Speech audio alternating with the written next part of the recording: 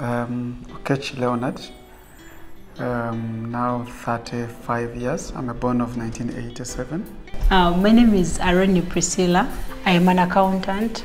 Yeah, that's what I. My, mine was simple. I just drew a frame and said if you fit in the frame, well and good. God fearing and if you can start from zero. Period.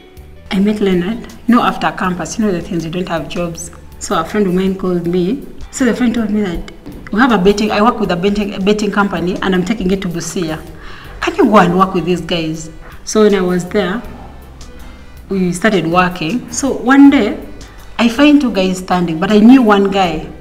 He was some old Kenyan man. Eh? He was our client. So I greeted them in Swahili because this guy was a Swahili guy.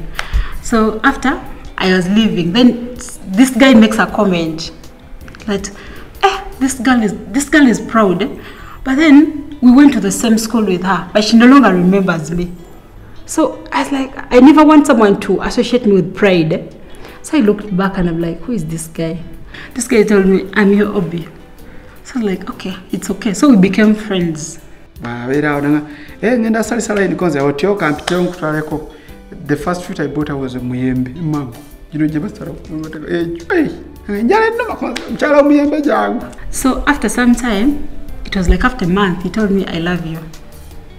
I told him, no, I'm not yet ready for a relationship.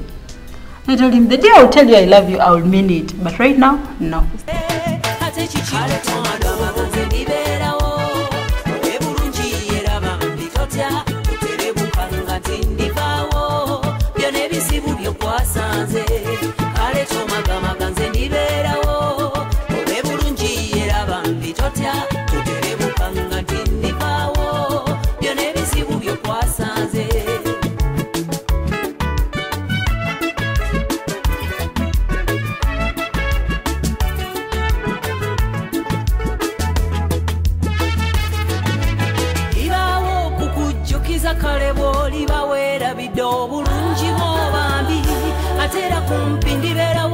Ate era